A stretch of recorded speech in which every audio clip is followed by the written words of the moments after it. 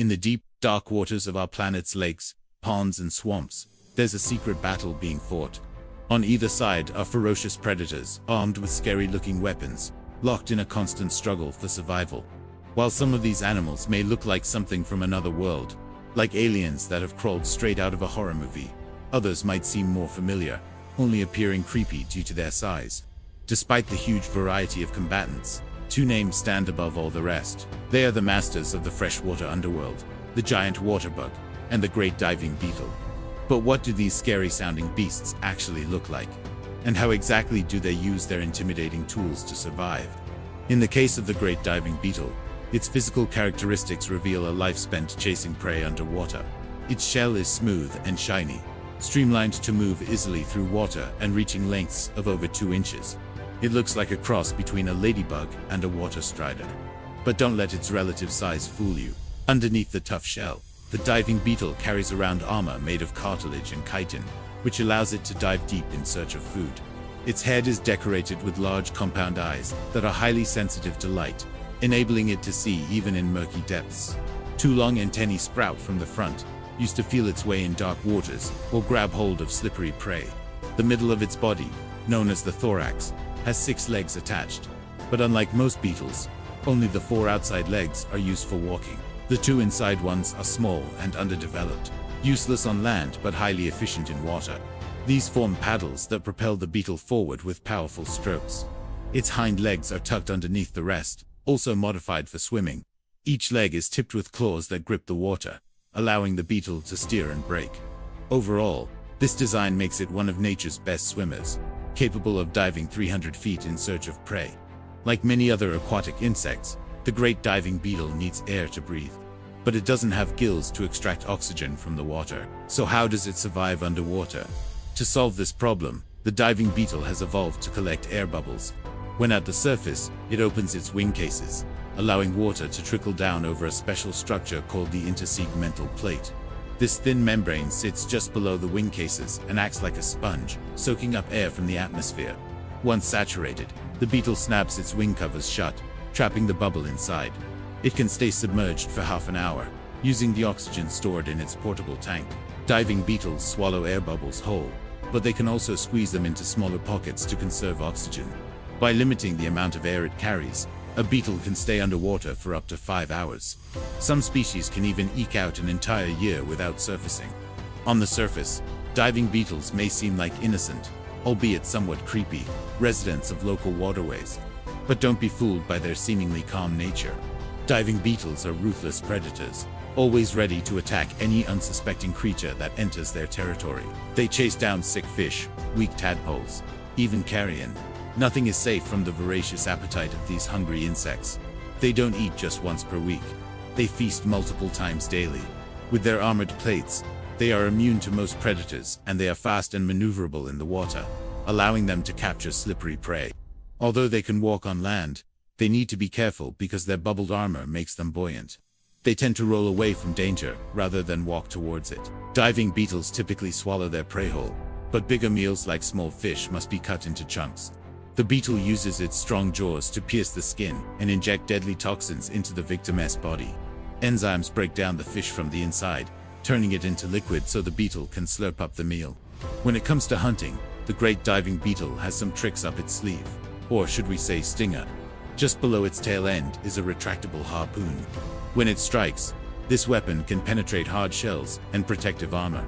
Once inside, a cocktail of toxic chemicals immobilizes the prey, after which the beetle gorges itself on the soft innards.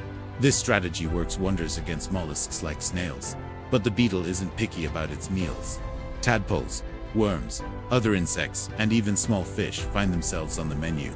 The great diving beetle has been the top predator in many waterways for millions of years. But in recent decades, it's faced challenges. Its numbers have been declining, possibly due to changes in water quality and quantity. Plus, the beetle relies on amphibians like frogs and toads for food, and these animals are disappearing too. Scientists estimate that by 2080, frog populations could drop by 76%, leaving the beetle with fewer food sources. To make matters worse, diving beetles are already dealing with competition from invasive species, like the spiny water flea. All this means the future of the diving beetle is uncertain. Which is why scientists classify it as near-threatened. If the great diving beetle is the wolf of the freshwater world, then the giant water bug is its crocodile counterpart. Imagine a bug so powerful it can deliver a painful bite comparable to a bullet ant sting. Welcome to the sinister world of the giant water bug. Living up to its name, this insect boasts a gigantic segmented body covered in a hard protective shell. Its length can reach an astonishing 3.3 inches, placing it among the largest of all insects. The giant water bug sports two enormous pincers that protrude from the sides of its head like menacing boxing gloves. These pincers aren't just for show. They are deadly weapons capable of crushing prey and tearing it to shreds. The bug uses them to grab onto plants and rocks while swimming. It also employs them to strike lightning fast, grabbing unsuspecting victims before they know what hit them. But the giant water bug's killing power doesn't end at its formidable pincers. Its mouth is equipped with a terrifying needle-like beak that can pierce even the toughest exteriors. When the giant water bug bites its prey, a venomous cocktail of chemicals courses through the wound, swiftly paralyzing its victim. Before the unfortunate critter has a chance to react, the bug injects digestive juices that turn the insides of its prey into liquid. With no further ado, the giant water bug proceeds to slurp up the remains, leaving nothing behind but a pile of discarded bones. Even humans are not safe from the bite of this monstrous insect. The giant water bug delivers a pain comparable to being stung by a bullet ant. If that's not enough to earn its reputation as a nightmare fuel bug, we don't know what is. But not all is as it seems in the underwater world. Despite its frightening appearance, the giant water bug has a surprisingly tender side. That's right. This insect takes on the role of a caring father. During courtship, the male giant water bug performs a bizarre dance, vibrating the water surface to attract a potential partner.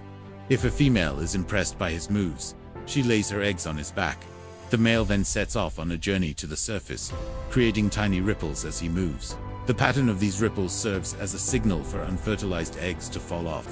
Once the male reaches the water surface, the female fertilizes the remaining eggs. Now it's time for the male to take on the role of a swimming incubator.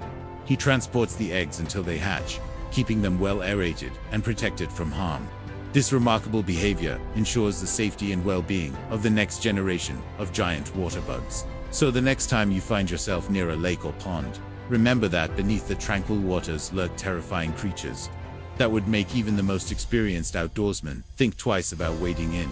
The giant water bug and the great diving beetle rule the underwater realm. Their strategies for survival are both fascinating and chilling. From the diving beetle's ability to carry air underwater to the giant water bug's venomous bite, these insects truly are the stuff of nightmares, yet they play a vital role in their ecosystem, keeping populations of other aquatic creatures in check. So perhaps it's best that we admire these creatures from a safe distance, marveling at their unique abilities while staying far away from their deadly grasp.